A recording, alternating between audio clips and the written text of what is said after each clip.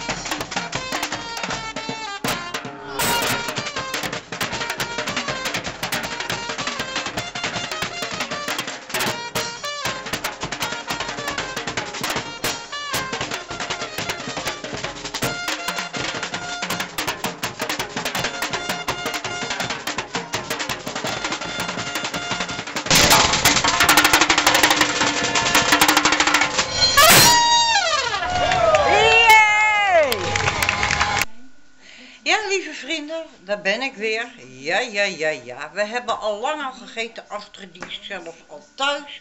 Ik heb een bak koffie staan. Eh, het was vanmiddag gezellig. We hebben, geloof ik, drie kwartier die, uh, die uh, mannen geweest. Die van die uh, dressband, weet, dressband, weet ik hoe dat heet.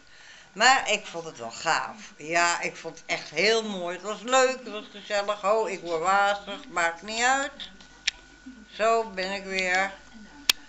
En uh, ja, het was beren gezellig. En uh, ja, jullie weten het, Astrid wil verder helemaal niks uh, niet erop. Ja, ze is misschien wel opgekomen, maar dat weet ik niet eens. Ik heb daar niet op gelet.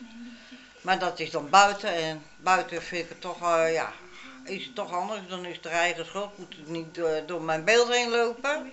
Maar uh, ze heeft meer achter me gestaan dan uh, voor me. Dus ik denk dat het wel goed is gekomen allemaal. En ja, we gaan met weekend er tegenaan. Want er is meer, denk ik, te doen. Wat ik gehoord heb een afrit. Ik weet ik niet wat. Maar dat zullen we gaan uitzoeken en uitpluizen. En andere week, zaterdag, met mooi, droog, goed weer.